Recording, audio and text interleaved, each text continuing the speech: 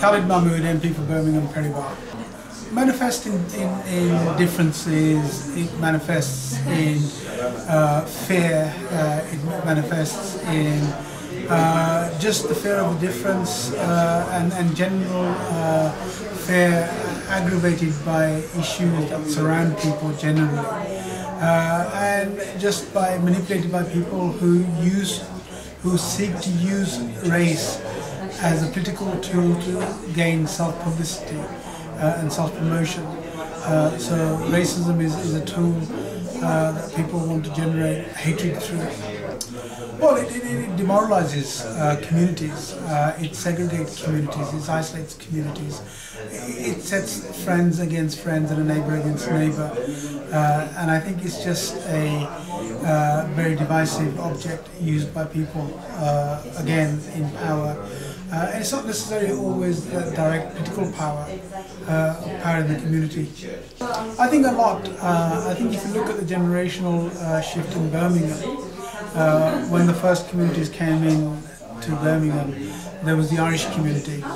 And because of the Irish community had suffered racism, uh, then there was the black and Asian community who suffered a bit less because the Irish community that had settled in Birmingham uh, had a buffer, the, the Asian and the African that came had a buffer from the Irish community. So they had less racism.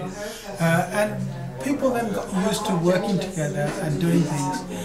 And when you actually start to learn people and uh, people's attitude and start to talk to people and then start to enjoy their culture and their food, you don't think it's all bad. Uh, but it's, it's, that isolation when you're not part of it mm -hmm. that you feel that there is that threat. Uh, and when you get together, you think, well, you know, there's sort of have the same features. Mm. Uh, they have the same sort of attitude to life as, as generally we do, yeah. and their blood is the same as us. Uh, and you don't sort of have that uh, real uh, differences which people pump into your mind sometimes. Uh, and I say it's not just about general politics, it's about community power that people use sometimes racism to gain power in a particular sector.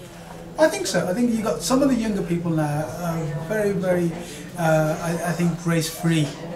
Uh, that because of the environment that they've grown in, they don't see the differences in colour. Uh, what they do is they might disagree with somebody, they might dislike somebody, but that wouldn't be on the basis of race. So I think it's much more important, particularly in a place like Birmingham, where you got such a cosmopolitan mix. mix. And in some schools you got smaller population of white young people, uh, and so the mix is, is far greater and far easier. I think it's very difficult. Uh, I think particularly because of the racist movements, particularly that are in Europe, uh, now in the UK, uh, people like EDL and the BNP are going to make sure that they continue to do that.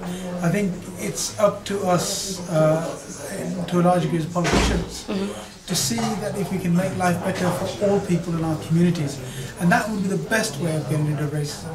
Uh, it's no good accusing one uh, council estate, white council estate of being racist, because they don't get the services.